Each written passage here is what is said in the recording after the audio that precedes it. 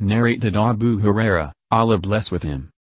The Messenger of Allah, peace be upon him, said, There is no disease that Allah has created, except that He also has created its treatment.